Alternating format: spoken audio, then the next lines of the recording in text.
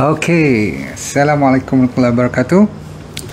Kita sudah bersedia. Uh, malam ni kita nak cerita satu lagi topik. Sebenarnya kita terlepas pandang uh, masalah pada malam ni sebab uh, banyak sangat yang uh, pada musim puasa uh, ada orang tanya adakah cerita malam ni untuk Ramadan sahaja ataupun puasa sunat ataupun puasa mutih uh, ataupun puasa-puasa water fasting.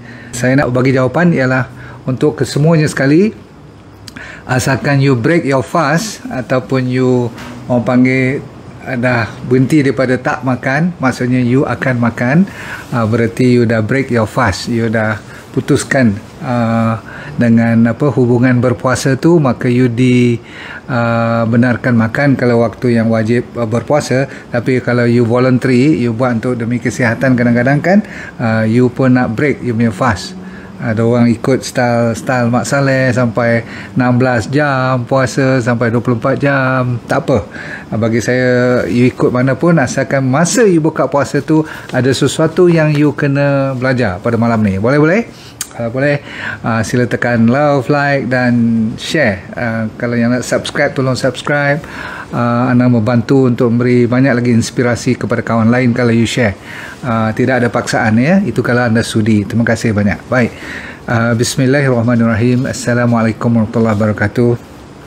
Dengan itu saya nak ceritakan bila anda berpuasa. Sebenarnya kita mukadimahkan dengan puasa dulu. Puasa ni mau tak mau adalah yang dah uh, orang yang bukan beragama Islam pun uh, ada yang berpuasa tetapi uh, tak kira jenis agama ataupun apa style budaya dah jadi trend sekarang. Berpuasa Uh, dah jadi trend. Maksudnya jadi fashion pula dah. Uh, saya uh, menceritakan ni pada malam ni bukan soal fashion tapi ada soal ada kaitan dengan kesihatan. Selain daripada um, ada tuntutan agama kita. Betul? Baik jadi puasa tu sudah terkenal dengan kebaikan, dengan manfaat. Uh, saya kan banyak kajian sekarang orang mendapat research grant. Faham tak research grant? Mendapat uh, dana untuk buat research uh, untuk berpuasa. Uh, saya kan Japanese uh, yang buat tentang autophagy tu. Ingat tak? Um, so uh, Japanese uh, punya researcher ni sampai dapat Nobel Prize pun sebab dia cerita tentang tentang autophagy yang ada kaitan dengan berpuasa. Lepas tu saya pun banyak kali baca tentang dia orang buat uh, tentang longevity, tahu tak? Panjang umur. Orang yang berpuasa ataupun dia orang buat lab test dengan binatang dengan benda-benda uh, yang ni lah, orang kata apa uh, yang kecil-kecil pun uh, semut ke ataupun mais ke ataupun binatang-binatang yang dia orang buat beberapa kumpulan tu didapati termasuklah selalunya tikus kan uh, mouse ni uh, yang di uh, orang kata apa calorie restriction. Makanan yang dikurangkan ataupun sampai dipuasakan dia orang ni mendapati mereka lebih panjang umur sampai antara 30 hingga 50% lebih. Ha tu ha, kalau dari segi umur panjang. Tapi kita lebih nak malam ni fokus kepada kesihatan. Berarti banyak jenis penyakit yang you tahu boleh dileraikan. Dengan syarat you dengar sekali lagi supaya tidak buat kesalahan yang terbesar waktu berbuka puasa. Sebab puasa dah cantik tapi bila buka puasa dah dia orang kata apa reverse balik. Baik-baik dapat manfaat dapat dia punya mudarat pula. Uh, penyakit seperti high blood, diabetes, kolesterol, apa lagi obesity, uh, autoimmune, sehingga kan ada orang buat kajian kanser pun Uh, berarti kalau dah sampai kanser tu dahsyat lah uh, boleh dibantu dengan berpuasa. So puasa uh, ikut kajian-kajian yang lebih mendalam uh, siapa yang kalau pun tak puasa kalau makan lebih malam saya cerita apa lebih daripada tiga kali sehari mencari naas tu tak? Tetapi yang terbaik sekarang paling uh, abdal kata orang sekarang dah zaman dua kali sehari sahaja yang terbaik. Dan paling baik lagi sekali ialah kalau satu hari sekali Wah, itu dipanggil OMAD program, uh, One Meal a Day program. Uh, tapi saya cadangkan bagi anda yang tak biasa, uh, mulakan dengan tiga, turun ke dua dahulu. Saya ulang. Uh, tiga, turun ke dua dahulu. Sebab apa? Kalau dua, kita boleh puasa. Betul tak betul? Kita buka puasa sekali, kita sahur sekali. Jadi itu itu dinamakan dua kali sehari. Kalau konsep berpuasa. Faham-faham? Kalau masa kita tak puasa, kita buat lebih kurang sama, cuma kita tak sahur, tapi kita makan lambat sikit untuk breakfast, uh, sehingga ke pukul 8 pagi pun boleh, uh, setengah orang buat sampai pukul 9 pagi, 10 pagi pun boleh, no problem. Okay? Bagi saya tidak menjadi masalah, tapi dua kali. Ah, so in between tu kita boleh buat water fasting kalau yang tak puasa. Ah, kalau tidak pun boleh buat kudapan-kudapan yang ringan-ringan. Termasuk apa saya kata selalu kacang-kacang, kopi, tea yang tak bergula. Saya ulang, yang tak bergula, tak bersusu dan kalau boleh tidak ada daging-daging yang berhormon ataupun antibiotik yang dibela oleh uh, kelang atau manusia dalam kurungan-kurungan yang sampai dia orang tak boleh bergerak. Kecuali kalau mereka tu bebas di dalam hutan uh, daging-daging ni masih dibenarkan. Termasuklah daging lembu ke kambing ke asalkan dia bebas. Okey? Baik. Jadi kalau anda dapat fahaman tu kita dah puasa cantik. Sekali masa kita buka puasa ada tiga perkara yang you kena dengar.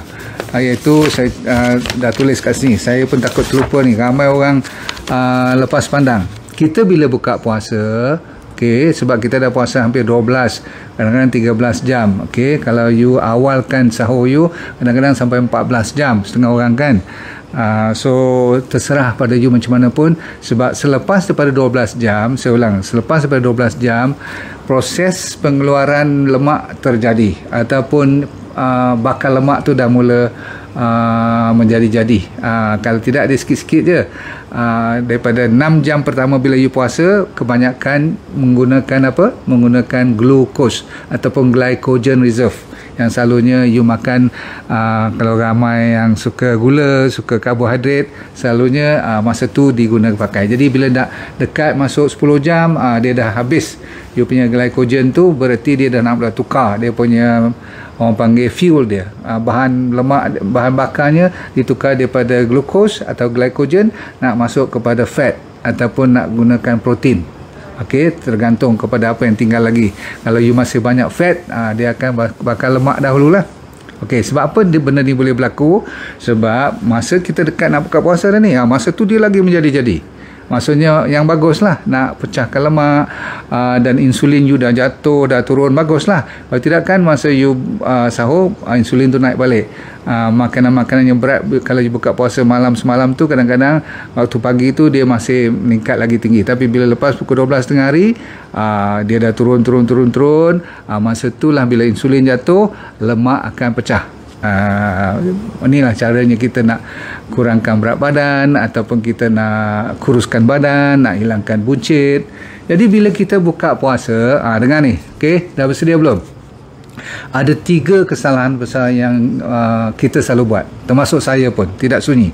Uh, nombor satu ialah kita suka makan terlalu banyak. Saya belum cerita apa lagi yang you makan. Okey. Nombor dua, ialah terlalu cepat makan tu. Dan nombor tiga, kita selalu campur benda yang berkarbohidrat bersamaan dengan lemak. Saya ulang, kita ada campuran karbohidrat ataupun benda yang bergula campur dengan lemak. Baik, nanti kita kupaskan tiga perkara ni. Sebelum tu, ah, kan kita ah, galakkan bila kita dah puasa sehari suntuk dah lama lebih daripada 12 jam katakan uh, you tak digalakkan terus heavy. Sebab tadi kan saya kata kesalahan pertama ialah terlalu banyak kita makan dan terlalu cepat kita makan. Dia kena slow steady and easy. Ha, saya ulang. Slow maksudnya perlahan-perlahan. Jangan kita lahap terus. Nombor dua kita kena steady. Steady maksudnya jangan terlalu kelang kabut dan kena easy. Easy ni maksudnya benda yang lebih ringan benda yang mudah. Jangan ambil berat semacam katakan terus-terus buka dengan biryani. Buka terus dengan uh, selalunya kita suka apa uh, seri muka. Yang berat-berat ni yang ada pulut, yang ada kalau musim durian entah-entah uh, dengan nasi durian sekali kalau you buka. Itu adalah kesalahan yang paling besar sebab body kita pendek kata orang Melayu kata terkejut lah. Orang kampung kata dia dia orang kata apa uh, macam Ai, apa benda ni? Uh, daripada kosong terus selungguk masuk. Jadi sebab itulah kalau anda selalu dengar uh, cerita-cerita yang kita di uh, apa sunnah kita ialah selalunya buka dengan uh, katakan benda manis dahulu betul tak? Betul tu. Uh, benda yang manis yang ada sedikit walaupun uh, meningkatkan insulin tetapi memang dibuat kajian harus ada sedikit kemanisan jadi yang dikatakan kurma sebiji ataupun tiga biji dahulu dengan air silakan bahkan saya selalu ajar you all garam dengan air kan? Uh, ada kajian dibuatkan uh, terutama sekali uh, bagi mereka yang uh, tak puasa tak puasa macam kita lah. Dia boleh minum sikit-sikit uh, dia buat water fasting dia pun kata itu puasa juga. Uh, itu dia panggil uh, style dia orang. Tapi style kita memang kering terus kan? Nak buka puasa baru kita boleh minum. Tapi uh, dah dibuat kajian siapa yang sebelum makan besar maksudnya buka puasa ataupun dalam bracket dinner ni you digalakkan ambil garam dan air. Ha, jadi kita dah amalkan garam dan air ni dalam dalam apa D&D diet tu tak? Jadi you tak tak heran lah kalau you buat ni dahulu.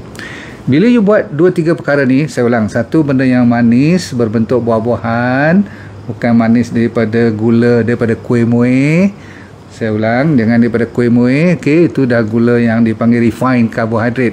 Refined sugar dahsyat out. Tetapi kalau you ambil contoh kurma ataupun kalau dapat kurma yang masih basah apa dia panggil tu?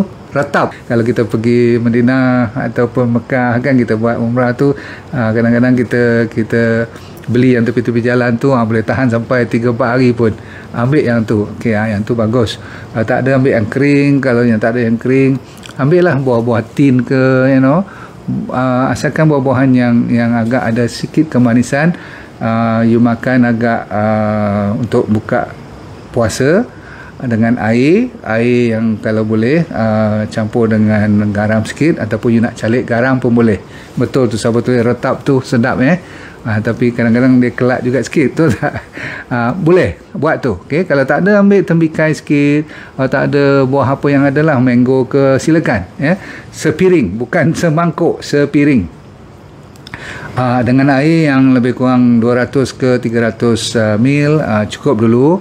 Apa you buat lepas pada tu? Uh, dalam kajian yang saya baca ni dia kata kalau you boleh tunggu setengah jam. Jadi sesuai tak kalau saya kata kita pergi maghrib dulu Ha, kita pergi maghrib dulu dengan kita punya sikit zikir. Lepas tu kita apa kita uh, ada sunatnya. Habislah 20 minit lebih kurang.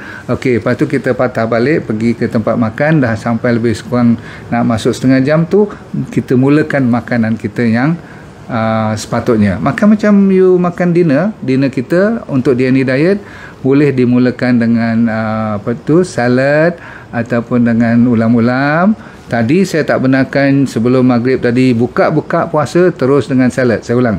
Jangan terus buka puasa dengan salad. Pasal apa? Dari sudut digestion, pencernaan, bila terus you masuk benda yang insoluble, benda yang kurang ataupun tak boleh dihadam, dia boleh diberi sebagai makanan kepada bakteria itu bagus. Tapi tak boleh terus-terus buka-buka puasa terus dengan ulam terus ambil ulam raja ambil pucuk paku semua tu sabar. Sebab apa? Ramai orang uh, mendapati dia senang kembung. Uh, dan kadang-kadang boleh uh, berangin perut boleh segar sampai sampai sakit perut pun ada. So kita tak nak uh, you bermasalah. Buka-buka puasa je sampai tak boleh semayang. Sebab apa? Kembung perut nanti. Faham? Sebab tu lepas you maghrib tadi baru you boleh makan balik salad you. Kalau you ada campuran dengan ya kacang-kacang lentils you nak buat salad you kan campur avocado semua silakan. Dah boleh dah. Eh? Nak minum sikit dengan chia seed. Sebab apa? You dah tak boleh minum banyak sangat dah sebab you dah nak makan. Saya kata apa? Makanan uh, kalau nak kita jamah tak boleh dimulakan dengan air ingat lagi sekali makanan meal you cannot start off with water first. Why? Because ada kaitan dengan hydrochloric acid. Kita nak hydrochloric acid tu bersedia untuk terima kita punya kan mesti you campur dengan daging sikit. Kalau orang-orang yang tak tak tak pantang lah. Kalau kita yang pantang tu waktu kita pantang lima hari seminggu kan kita tak makan benda-benda berdaging. Dua hari seminggu boleh. Nak campur telur nak campur dengan ikan boleh. No problem. Bagi saya no problem Uh, tapi nasi dikurangkan sangat-sangat sebab nasi zaman sekarang dah putih bersih tak tinggal apa lagi dah cuma zero karbohidrat saja. Maksudnya uh, serat dia pun dah tak banyak dah. Uh, zat-zat dia pun dah dipolish. Kecuali kalau you ambil brown rice ataupun ambil parboiled rice uh, tu masih lagi bagus. Yang penting ialah you uh, silakan nak ambil ubi dan sebagainya.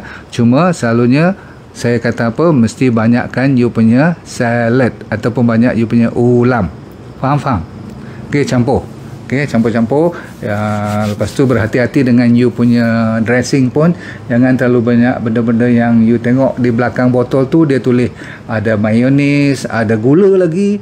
Lepas tu garam tu memanglah lepas tu ada apa lagi? MSG lagi. Ha, jangan main. Lepas tu ada number tu number ni semua pasal apa? Ada preservative. Sebab tu botol tu boleh tahan sampai 2 tahun kalau boleh buat dengan apple cider vinegar atau buat balsam vinegar uh, campur dengan olive oil pandai-pandai you perah limau sikit campurlah herba-herba yang you suka silakan. Yang tu pun sesedap yang you boleh enjoy lah. Kena buat jadi kebiasaan. Nak masuk kacang kuda ke macam mana no problem. Lepas tu you campur dengan banyak uh, sayur-sayur you nak dengan sup dan sebagainya. Sudah. Dah habis. Dan makan sama macam dinner biasa. Ini dia maksud saya. Bila kita kata kita makan lebih banyak daripada biasa ialah kita macam nak bayar balik yang kita puasa siang tadi. Maksudnya nak bayar balik apa? Nak bayar balik lunch nak, dan nak bayar balik kita punya breakfast.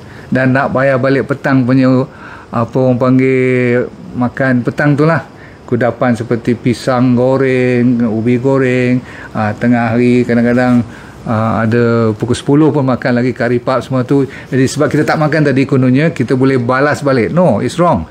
You makan macam biasa macam dinner you biasa. Kalau you makan uh, setengah pinggan nasi uh, sekarang setengah pinggan nasi. Cuma sekarang you nak ganti dengan ubi pula nak try lain lah. Faham faham? So kenyang sama macam kenyang dinner biasa. Cuma you nak tambah sikit orang kata terliok apa ke nak rasa kuih tu kuih ni sikit antara kita berdua no problem lah kan. Janganlah kita nak sedihkan diri pula. Takat tu cukup. Bahaya kedua ialah kita makan terlalu cepat. Kita macam macam uh, bekerja-kerja. Saya pun tak tahu kenapa you nak bekerja-kerja padahal uh, you ada masa terus dah, nak daripada maghrib nak tunggu isyak kan. Uh, kita lepas isyak dah tutup kedai dah tak makan apa. Saya ulang dah tak makan apa. Tetapi ini dia masalah yang kita lupa dan kesalahan kedua yang terbesar iaitu kita suka makan more. Tahu more? Saya pun baru belajar ni yang sebenarnya more itu tak perlu. Ah, dan more selalunya bahan-bahannya manis. Betul betul? Ah, kalau saya masih ingat zaman saya dulu mesti ada bubuk kacang. Aa, lepas tu cicah pula dengan roti bengali. Oh, zaman dulu roti bengali yang tebal satu inci satu inci tu dia potong bagi kat kita betul tak betul? Okay. so uh, uh, kalau boleh jangan uh, kalau terpaksa you nak rasa silakan. Tetapi nak makan sampai kenyang satu round lagi pukul 10 malam tu kan lepas terawih ke kalau musim Ramadan. Tapi kita biasa-biasa sekarang yang tak musim puasa ni uh, kita puasa sunat kita tolong jangan belajar ada supply ataupun suruh orang rumah you masak lagi satu dish satu lagi makanan yang sedap. Ha, memang sedap-sedap lah dia buat kat you ha, kononnya kuih dah siap campur pula dengan uh, pulut apa orang panggil? Pulut panggang ya? Ha, yeah, so adalah macam-macam. Uh, cucur badak lah siap uh, dengan kari pap lah ada murtabak lagi. Uh, jadi tuan-tuan sekalian itu dah dipanggil second meal. Dan makanan yang kedua ni uh, tak seharusnya berlaku dalam hidup kita daripada sekarang. You tak boleh lagi dah. Okay. So boleh tak boleh? So more tak perlu. Betul. Siapa tulis tu? Betul. Stevia okey ke? Stevia okey. Honey okey ke? Honey okey. Siapa nak tanya apa lagi? So kita jangan sampai tak mahu makan. Kita boleh makan. Cuma tidak ada lagi campuran antara karbohidrat dengan fat. Contoh macam ni. Uh, you ambil uh, daging yang berlemak. Lepas tu you letak antara ban tak roti ban. Nak buat macam burger tu ha, siap. Ha, yang tu campuran yang memang menjahanamkan puasa you. You akan lebih gemuk dan you akan lebih berpenyakit daripada sebelum uh, you berpuasa. Saya ulang. You akan lebih berpenyakit sebab apa kalau karbohidrat saja dah pun meningkatkan insulin. Tak ada masalah. Kalau takat-takat buah kurma tadi um, bahan-bahan manisan untuk you buka puasa sikit buah-buahan ya uh, tak ada masalah. Itu dibenarkan pun bahkan digalakkan supaya you dapat energi cepat sikit. No problem. Maghrib balik makan semua tu. Tapi bila dah more campur pula makanan yang you pilih tu antara uh, bahan-bahan beroti karbohidrat yang refine bukan karbohidrat yang kompleks. Kalau karbohidrat seperti ubi keledek you bakar dia ubi kentang bakar uh, ada keladi lagi wah itu no problem. Okey ubi kayu lagi cicah dengan kelapa no problem. Okey jangan you risau sangat. Tetapi kalau you campur pula ubi dan semua ni lepas tu you makan pula dengan bahan-bahan yang berlemak ada yang berminyak tak kisahlah gula yang berminyak ke ataupun daging yang nampak lemak lagi ke uh, campur pula dengan uh, apa lagi yang berlemak-lemak eh. Tengoklah uh, asalkan jangan campur bahan-bahan yang berlemak dengan benda yang berkarbohidrat. Sebab dah dibuat kajian dua-dua ni campur melentil melangit mencacak naik you punya insulin bila insulin tu uh, mencacak naik you punya glukos uh, ataupun blood sugar akan naik uh, ni kalau belum kena diabetik pun you sudah melambai-lambai nak kena diabetik Faham-faham? Orang yang diabetik kalau selalu buat macam ni sebab itulah you kena tambah you punya insulin injection, you kena check you punya blood uh, glucose tengok-tengok besok naik menggila-gila. Pasal? Sebab you tak faham, you dah mix uh, bahan bergula sama ada nampak tak nampak dengan bahan yang berlemak. Jangan campur sekali-kali jangan campur. Okey. So saya dah habis cerita makan terlalu cepat out, makan terlalu banyak out. Okey.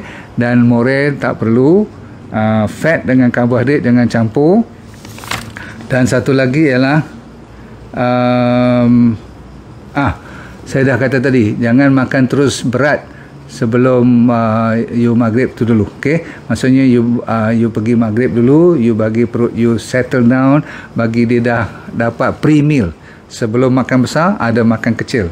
Ha, makan kecil tu dipanggil buka puasa. Faham anda sekalian semua dah faham eh? Boleh ikut saya eh? Okey uh, last kali ialah ada sikit uh, pantang larang. Uh, jangan uh, ambil kacang banyak sangat. Masa buka puasa ataupun masa uh, you sama ada makanan kecil small meal tu masa buka puasa ataupun masa you betul-betul makan lepas maghrib tu jangan terlalu banyak benda yang uh, cashew nut uh, ada cashew nut tu maksudnya gajus ataupun almond. Dua kacang ni didapati agak berat untuk mereka yang berbuka puasa. Saya ulang almond. Almond tu apa eh? Uh, almond lah badam ya okay. Uh, so cashew nut tu gajus. Alright. Uh, nombor dua jangan terus buka puasa yang kecil tadi dengan bahan-bahan yang insoluble seperti salad semua jangan. Okay biar dulu. Uh, lepas maghrib nanti uh, you boleh makan dengan salad you. Okay. Of course tak ada sugar tak ada uh, dairy, tak ada susu dan tak ada bahan-bahan daging yang berat-berat uh, yang yang especially yang ada hormon, ada karbohidrat, ada karbohidrat pula apa, ada inilah injection uh, antibiotik dan sebagainya. Okey, cukup dulu pada malam ni saudara saya sekalian. Itu nasihat saya. Kalau anda amalkan ni semua hari-hari yang you tak puasa, buat sama je.